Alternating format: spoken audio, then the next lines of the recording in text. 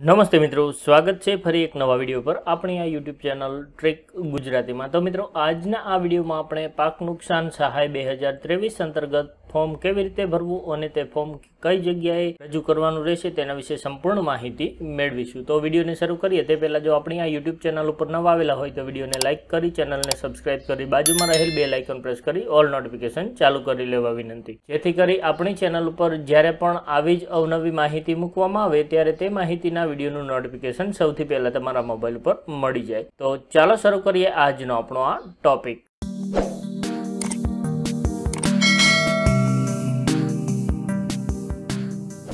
તો મિત્રો, કમોસમી વરસાદને લીધે થયેલા નુકસાન માટે રાજ્ય સરકાર દ્વારા પાક નુકસાન સહાય બે હજાર ત્રેવીસ જાહેર કરવામાં આવેલ છે, જે અંતર્ગત રૂપિયા એકસઠ હજાર બસો સુધીની સહાય મેળવવા માટે ફોર્મ કેવી રીતે ભરવું, તેના વિશેની વિગતવાર સંપૂર્ણ માહિતી મેળવવા માટે આ વિડીયોને છેલ્લે સુધી જોતા રહેજો. જેથી કરી જો તમે પણ પાક નુકસાન સહાય બે હજાર ત્રેવીસનો લાભ લેવા માગતા હોય તો તેના વિશેની સંપૂર્ણ માહિતી આપને ખ્યાલ આવી જાય. તો ચાલો હવે આપણે વિગતવાર માહિતી મેળવતા જઈએ.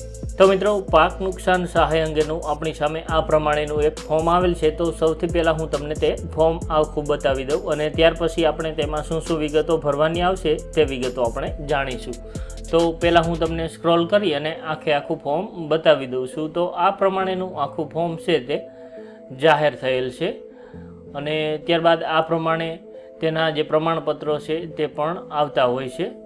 અને ત્યાર પછી આગળ જે પેજ નંબર ત્રણ છે તેમાં સંમતિ પણ લેવાની થતી હોય છે. તો મિત્રો, જે લોકો સંયુક્ત ખાતેદાર છે, તેઓને આ પ્રમાણે સંમતિ પણ લેવાની થશે. તો સંપૂર્ણ વિગત આપણે જાણીશું કે તેમાં શું શું વિગતો ભરવાની આવશે, કઈ જગ્યાએ કઈ વિગત ભરવાની આવશે. તો આ પ્રમાણેનું આખે આખું ફોર્મ છે તે જાહેર થયેલ છે. તમે જોઈ શકો છો. તો હવે આપણે જોતા જઈએ કે તેમાં શું શું વિગતો દાખલ કરવાની છે. તો મિત્રો, માર્ચ બે હજાર ત્રેવીસમાં કમોસમી વરસાદથી થયેલા પાક નુકસાની અંગે સહાય મેળવવા માટે આ પ્રમાણેનું આખું અરજીપત્રક જાહેર થયેલ છે. તો અહીંયા આપણે જે જે વિગતો ભરવાની આવે છે તે વિગતો ઉપર ડિસ્પ્લે કરવાનો પ્રયત્ન કરીશું અને આ તમામ વિગતો એ ડમી વિગતો છે. માત્ર આપને સમજાવવા માટે આ વિગતો આપણે અહીંયા ડિસ્પ્લે ઉપર બતાવી રહ્યા છીએ. તો ચાલો હવે આપણે જોતા જઈએ કે તેમાં શું શું વિગત દાખલ કરવાની છે. તો સૌથી પહેલાં આપણે અહીંયા ખેડૂત ખાતેદારનું નામ લખવાનું રહેશે. તો અહીંયા તમે ઉપર સ્ક્રીન ઉપર જોઈ શકતા હશો. ત્યાર પછી આપણે અહીંયા ગામનું નામ લખવાનું રહેશે.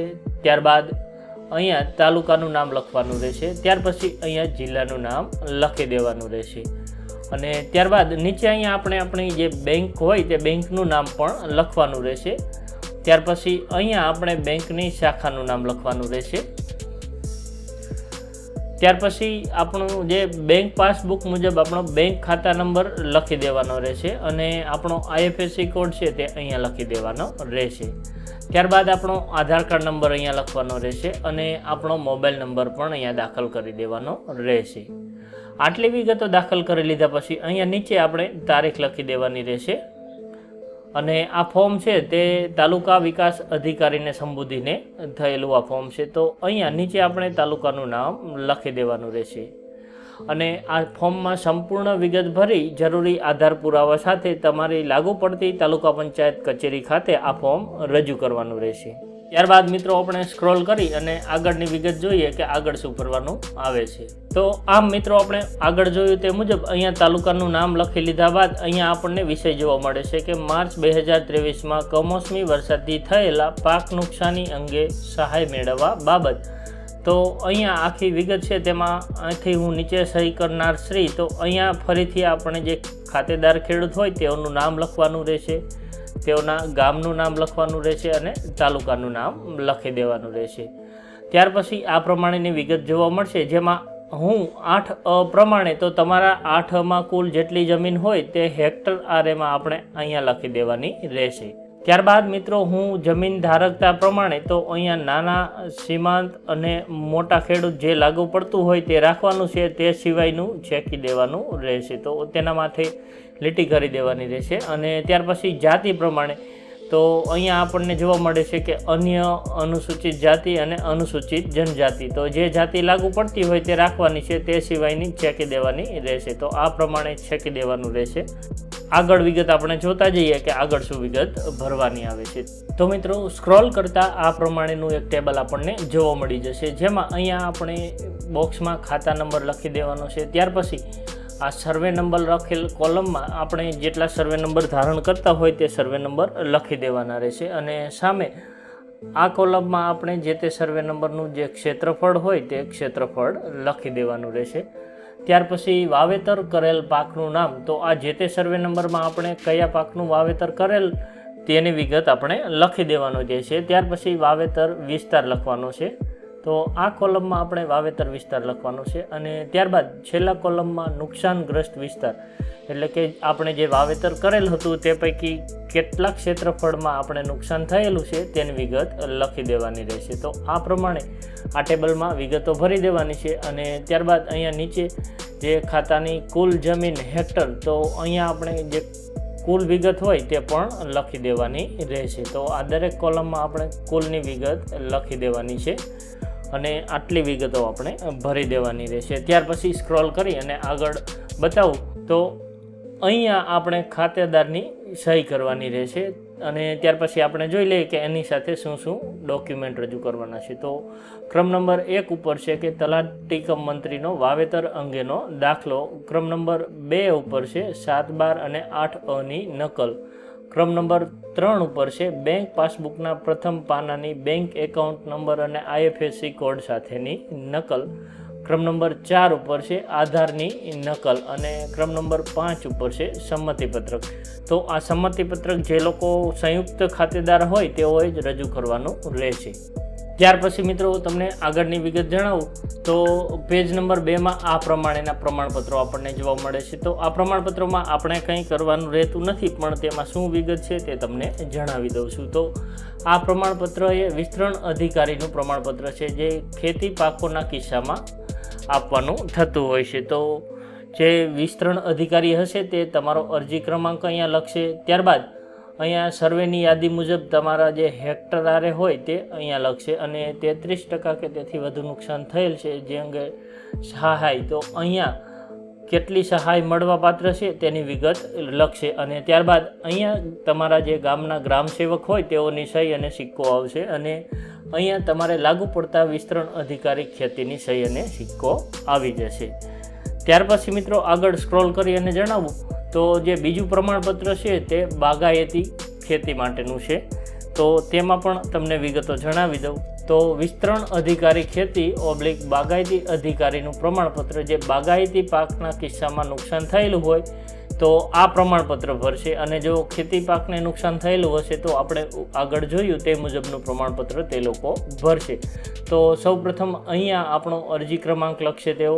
અને ત્યાર પછી આપણે જે યાદી મુજબ આપણા હેક્ટર આરે છે તે જમીન વિસ્તાર આપણો અહીંયા લખી દેશે. અને ત્યાર પછી જે મળવાપાત્ર સહાય છે તે અહીંયા લખી અને અહીંયા વિસ્તરણ અધિકારીની સહી આવશે અને ત્યાર પછી આ બાજુએ બાગાયત અધિકારીશ્રીની સહી આવશે. તો આ પ્રમાણેના બે પ્રમાણપત્રો છે જે લાગુ પડતે હશે તે કચેરી દ્વારા ભરવામાં આવશે. ત્યાર પછી સ્ક્રોલ કરી અને આગળ તમને સંમતિપત્રક બતાવી દઉં. તો આ પ્રમાણેનું ખાતેદારનું સંમતિપત્રક છે. તો જે સંયુક્ત ખાતે જમીન ધારણ કરે છે, તે લોકોએ આ સંમતિપત્રક રજૂ કરવાનું રહેશે કે સંયુક્ત ખાતેદાર સંમતિપત્રક માર્ચ બે હજાર ત્રેવીસમાં કમોસમી વરસાદથી પાક નુકસાની અંગે સહાય મેળવવા અંગે. તો આથી અમો અમારા સંયુક્ત આઠ ખાતા નંબર, તો અહીંયા ખાતા નંબર લખી દેવાના રહેશે. ત્યાર પછી અહીંયા જે અરજદાર હોય તેઓનું નામ લખી દેવાનું છે. ત્યાર પછી ગામનું નામ લખી દેવાનું છે. ત્યાર પછી તાલુકાનું નામ લખી દેવાનું રહેશે. તો આ સંમતિપત્રક એ એ પ્રકારનું છે કે જે સંયુક્ત ખાતે જમીન ધારણ કરતા હોય તે પૈકી કોઈ પણ એક ખાતેદારને આ જે સહાયની રકમ છે તે મળે તો અન્ય કોઈ ખાતેદારોને તેમાં કોઈ વાંધો નથી. તે બાબતનું આ સંમતિપત્રક છે. તો આ સંમતિપત્રકમાં અહીંયા જે નીચે કોષ્ટક છે, તેમાં આપણે આઠ અ મુજબના જે કંઈ ખાતેદારો હોય તે ખાતેદારોના નામ લખી દેવાના છે અને સામે અહીંયા તેઓની સહી લઈ લેવાની રહેશે. ત્યાર પછી નીચે અહીંયા મિત્રો તારીખ લખી દેવાની રહેશે અને સ્થળનું નામ લખી દેવાનું છે. ત્યારબાદ અહીંયા આપણે બે સાક્ષીઓના નામ અને તેઓની સામે તેમની સહી લેવાની રહેશે. તો અહીંયા બે સાક્ષીની સહી લેવાની રહેશે.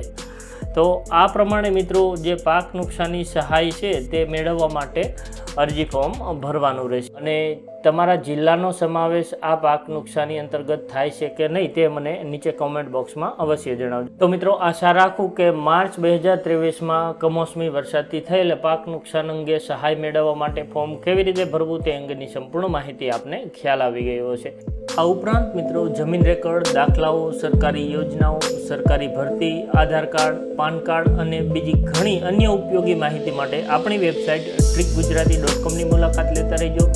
આ ઉપરાંત આપણી ટેલિગ્રામ ચેનલ પણ છે, તો તમને ટેલિગ્રામ ચેનલની લિંક અહીંયા જોવા મળી જશે અને ડિસ્ક્રિપ્શનમાં પણ આની લિંક આપેલી છે. આ ઉપરાંત મિત્રો તમારા મોબાઈલમાં ટેલિગ્રામ ખોલી અને ટ્રીપ ગુજરાતી સર્ચ કરશો, તો પણ તમને આ પ્રમાણેની ટેલિગ્રામની ચેનલ જોવા મળી જશે. તો ત્યાં પણ આપણે ઉપયોગી માહિતી મૂકતા હોઈએ છીએ. જો તમને પસંદ પડે તો ચેનલમાં જોઈન થઈ જજો. કેમ કે જોઈન થવું એકદમ ફ્રી છે. તો મિત્રો, જો તમને મારો આ વીડિયો પસંદ આવ્યો હોય તો લાઇક કરજો, મિત્રો સાથે શેર કરજો, જરૂર જણાય તો કોમેન્ટ કરજો. અને હા, આપણી આ યુટ્યુબ ચેનલને સબસ્ક્રાઇબ કરવાનું ભૂલશો નહીં. ફરી મળીશું નવા વીડિયો સાથે. ત્યાં સુધી રજા લઉં જય હિન્દ, વંદે માતરમ.